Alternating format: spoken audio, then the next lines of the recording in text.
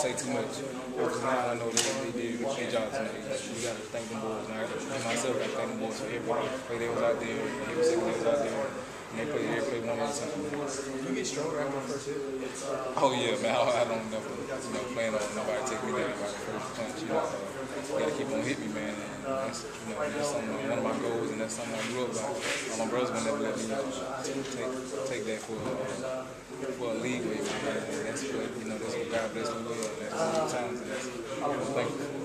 nine carries like that that night. Uh, anytime I can help the team, no matter how many carries I can get. Like I said, I'm a football player.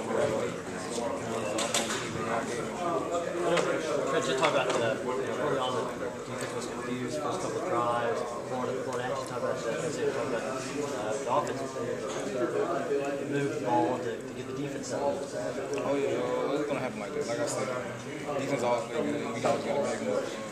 She did some stuff that the defense ain't seen before. We got some stuff. We try to us. It wasn't some defense had uh, I would not be. Attitude too. So we went out there, we told them they got you back, no matter what. And, and they went up ten nothing. Came back, scored our points, and we got on from there.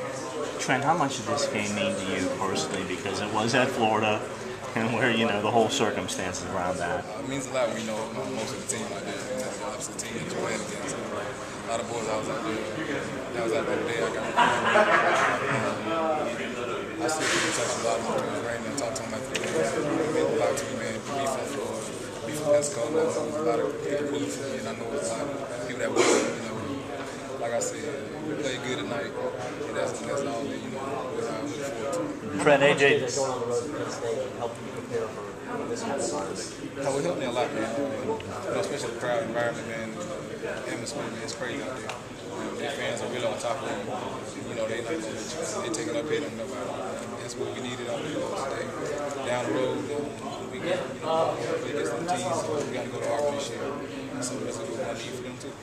Trent, AJ were just talking about the fact that this offense is really getting in a groove right now. Can you can you talk about the identity you think you guys are starting to establish now offensively? Well, identity-wise, you know, you really can't call it right now. But I will say that we we, we try to bring it to the game as we will not be tonight. I mean, we're gonna keep on punching at you every time we get out there. But AJ's doing a real good job, man. He's keeping us composed. I mean, it was the first time he's been out, or the second time he's been out there in a lot of environment like that. Um, and SEC play is the first time he's been out there. And I think he did a real good job, man. The offensive line, you know, they did a pretty good job with all their calls and stuff like that. And I think uh, just all went out there and just played as a unit. That's what we needed to win the game. That's, With the win at Penn State, the win here on the road, two tough places to play. How do you think that helps you guys confidence-wise moving forward? Oh, it helps us a lot, man. Like I tell you every week, um, we can't get complacent.